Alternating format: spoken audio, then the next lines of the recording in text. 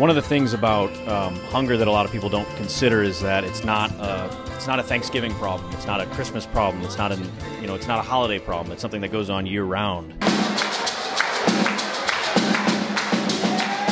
I started a community holiday program, which was led by Mike. All the employees would donate money from their paycheck into this fund called the Community Holiday Fund, and then the company would match them. So basically, that, that became Vulpes Vulpes. The event that we put on today is, is meant to raise awareness and basically cash for the food bank. And Vulpes Vulpes is Latin for red fox, which is the uh, largest of all the true foxes. So we, we saw it fitting that Vulpes Vulpes is our, our community program that gives back to the, uh, the community of the mission.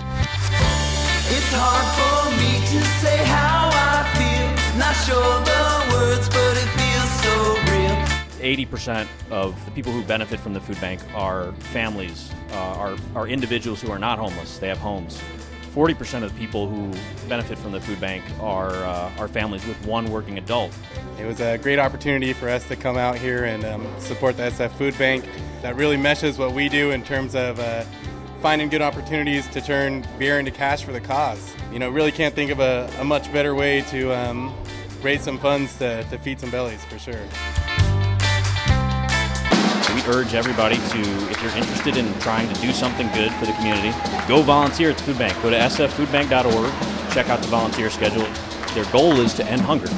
And that's an extremely admirable goal. It's something that we want to try to support, and we're honored to even be a part of it. Our vision as an advertising agency, as a business in this community, is to contribute to this community, not be a bystander in the community and push on that path.